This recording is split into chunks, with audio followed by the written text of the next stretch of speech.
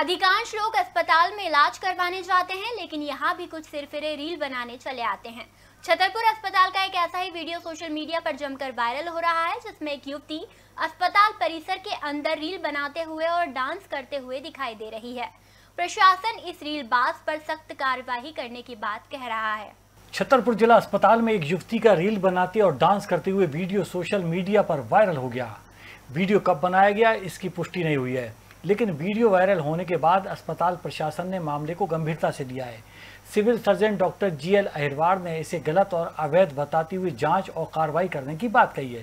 साथ ही भविष्य में ऐसी घटनाओं को रोकने का प्रयास करने का आश्वासन भी दिया है। शासकीय संस्था में किसी प्रकार के रीलें या वीडियो बनाना पूर्ण रूप से प्रतिबंधित है।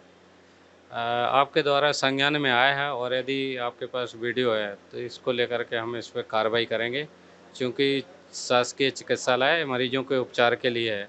किसी प्रकार के रील, वीडियो या अन्य ऐसी अव्यावसायिक गतिविधियों पूर्ण रूप से प्रतिबंधित हैं।